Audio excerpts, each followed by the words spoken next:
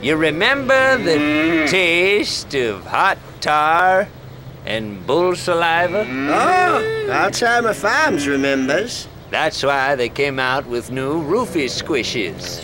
Delicious taste of bubbling hot tar and the fresh squeeze taste of bull saliva. Alzheimer Farms is making all kinds of new treats in their kitchens. We've been busy because we haven't much else to do. Remember the flavor when you'd cut your mouth and then drink orange juice? Alzheimer Farms remembers. That's why they came out with new painfuls. A delicious blend of citrus orange juice and ground glass. Oh, we've been busy in the kitchen. Remember the taste of rusty nails and marshmallow cream? Hmm, who could forget? Well, that's why Alzheimer Farms made new rust puffies. A delicious blend of tetanus-laden galvanized nails smothered in a creamy marshmallow sauce. Got more personality than most folks around here. Don't tell them that. Hmm? Alzheimer Farms. You can't remember what's in them. That's why they taste so good. You remember the taste of dead skunk meat and balsa wood? Sure do. And Alzheimer Farms remembers too.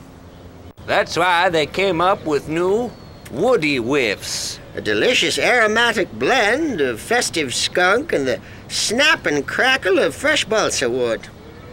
Got more personality than most folks we know. Like eating a glider on the open road. Ah, yes. Remember when the world was covered with water and we ruled as a race of salamander people? Alzheimer Farms remembers. That's why they came up with new delicious dominant amphibian crunches.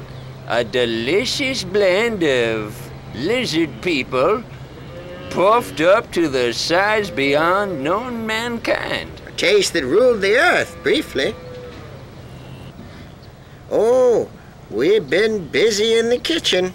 Alzheimer Farms. You can't remember what's in 'em. That's what makes 'em taste so good.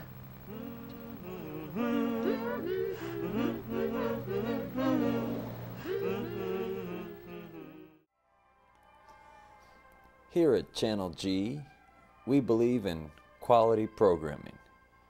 And quality programming costs money. So send us your money. The money that you had set aside for your children's college fund, your car payment. Send us the money that you would have given to poor starving children in foreign countries. Send us your Social Security checks, the money you have hidden in your mattress. Send us the money that you have in your children's piggy banks.